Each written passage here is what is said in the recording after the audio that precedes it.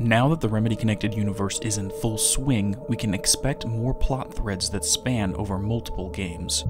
A few of these have already been explored, most of which were centered around information uncovered during the AWE DLC. While some are still unresolved, one character arc that began in the 60s has finally been concluded. That is the story of Dr. Emil Hartman. While not one himself, his life was spent in the company of artists from various fields. The life of Emil Hartman is a cautionary tale, one that displays a man going down a dark path of intellectual pursuits. For such a highly intelligent and educated individual, there was one lesson that he never learned. Ultimately, Hartman's ignorance on this matter led to his demise. Throughout this video, we will discuss his history, crimes, and what his failures can teach us so that we do not fall into the same trap.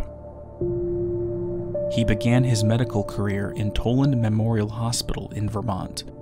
There, he witnessed a few patients with signs of artistic ability. These brief encounters served as the seed that would later sprout, shaping the man he would become. In his own words, the image of these damaged souls carving their dreams into canvas and clay stayed with me. Years later, he traveled to Washington state to form a private practice. In his book, The Creator's Dilemma, he expresses a belief that when artists lose the ability to draw inspiration, they risk spiraling into self abuse and depression. The artist's voice sings as though he summoned the powers of the oceans and ether. However, at times, these energies can become blocked. The artist may think the well has gone dry, and so he finds another outlet for his creative energies, predictably descending down the familiar trajectory of depression, alcohol, and other forms of self abuse. The therapeutic methods advertised in this book were ways of isolating what kind of creative blockage the individual suffers from and clearing it. The Creator's Dilemma, however, was written after he learned of the power of Cauldron Lake, so let us go back and take a look. At an unknown time in the late 60s, Dr. Hartman settled in Bright Falls and became the assistant of a poet by the name of Thomas Zane. Bird's Leg Cabin became the setting for Emil's first experiment and the site of his first failure. As a result of his experience there, all the esoteric theories that had been rattling around his head were solidified. A magic lake that would make real whatever the artist imagined.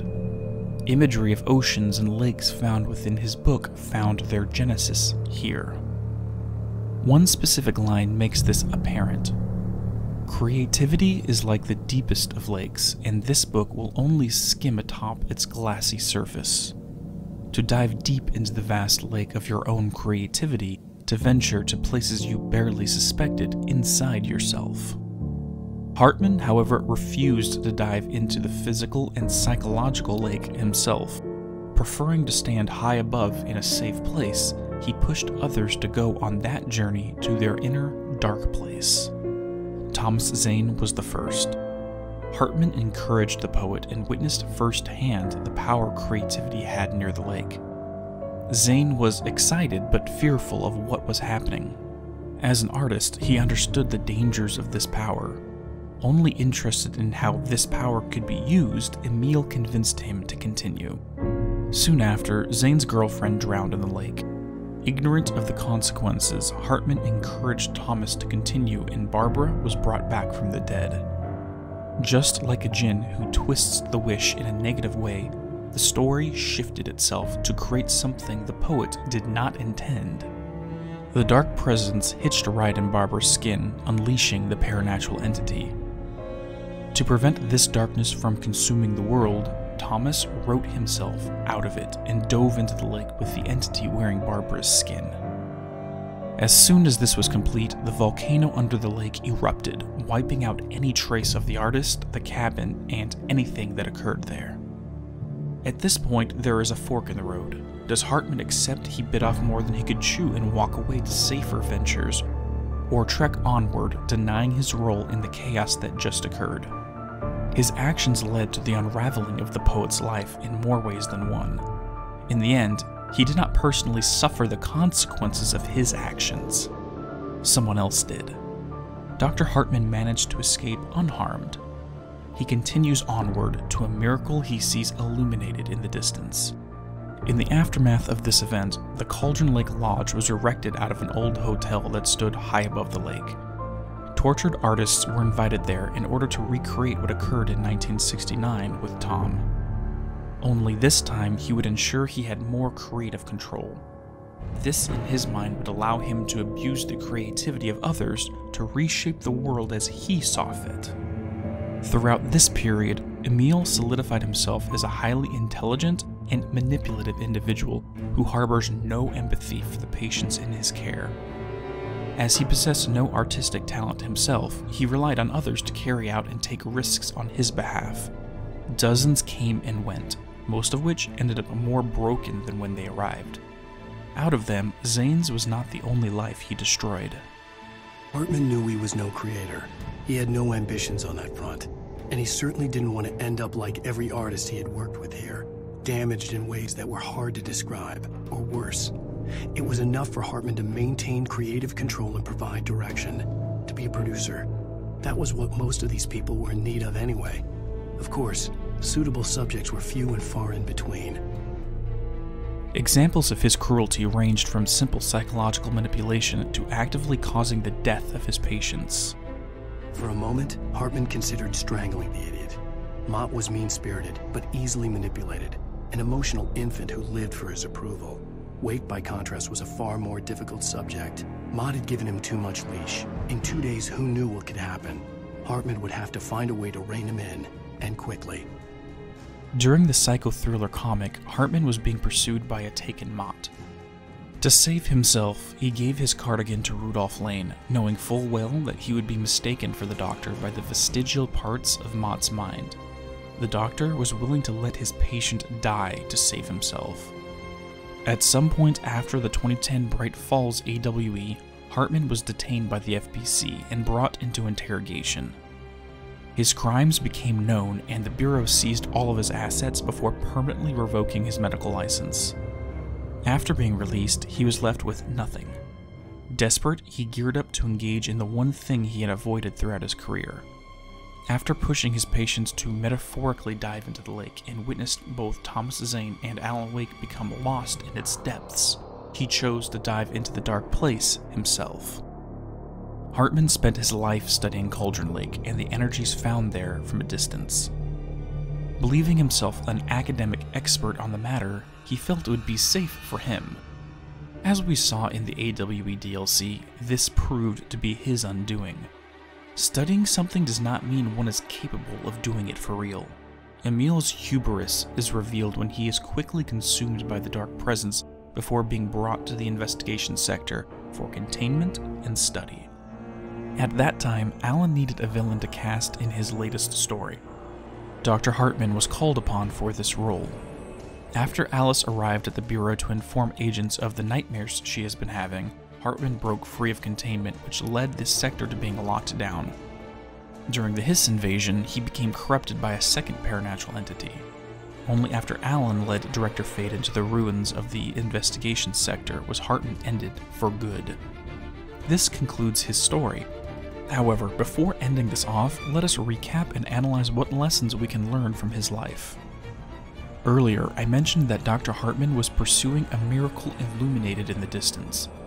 You mentioned a poem last time we talked. By Thomas Zane? Yes. Beyond the shadow you settle for, there's a miracle illuminated.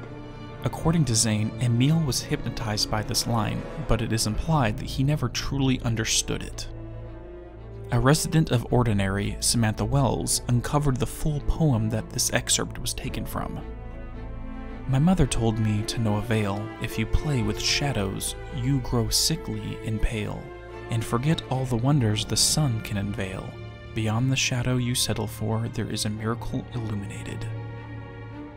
Handwritten on the page, Zane says he had a long talk with Emil about the meaning.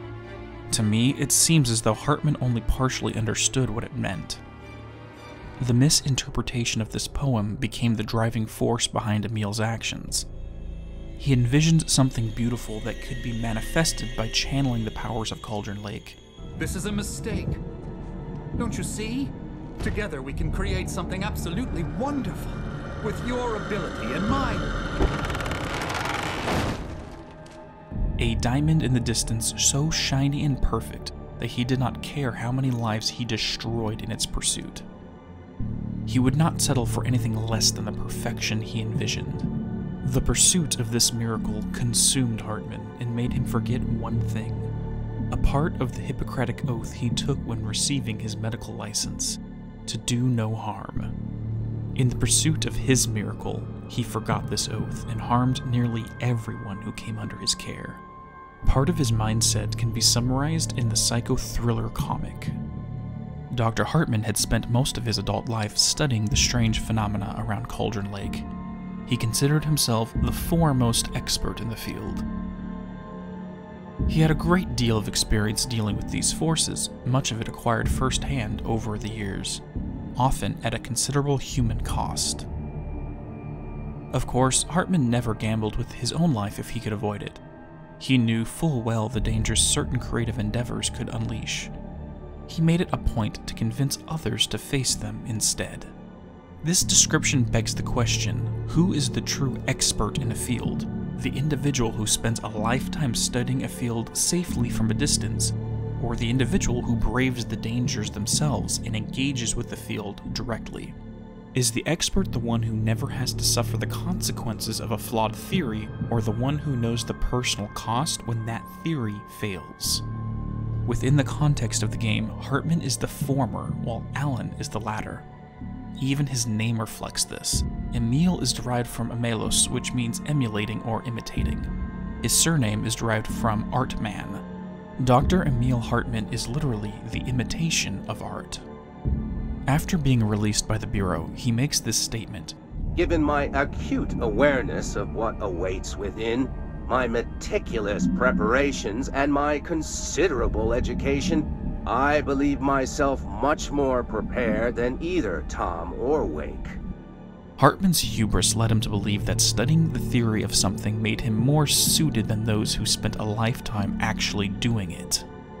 The lodge stood high above Cauldron Lake, while Zane's cabin was right on the waters. A sense of superiority born from his intellect is reflected here. Hartman wished to remain separate from those he manipulates, both to remain safe and stand above them during the pursuit for the miraculous world he envisioned. The one and only time this man went to the waters himself, taking upon his shoulders the risk needed to create that miracle, he was consumed almost instantly. I ask again, who is the true expert? The one who stands above, studying theoretically from a distance, or the one on the ground who practices the discipline for real?